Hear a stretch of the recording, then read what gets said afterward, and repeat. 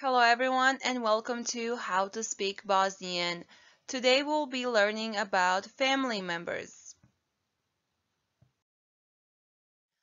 Family members in Bosnian are father or otac or tata, mother, majka or mama, grandfather, djed or dedo, grandmother, nena, nana or baka, son, sin, daughter, kćerka, brother, brat, sister, sestra, uncle, ujak, dajđa or amidža, aunt, tetka, cousin, Rođak, or rođaka, depending on a gender. Now we will be talking I encourage you to repeat after me. Father or otac, otac, or informal tata, tata, mother or majka, majka, or informal mama, mama, father or deda, deda, grandmother, nana, nana, or baka.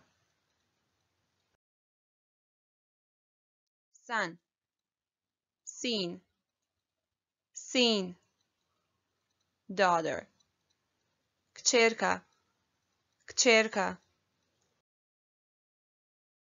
brother or brat, brat, sister, sestra, sestra. Ujak, ujak. Dajđa, dajđa, or amidža, amidža.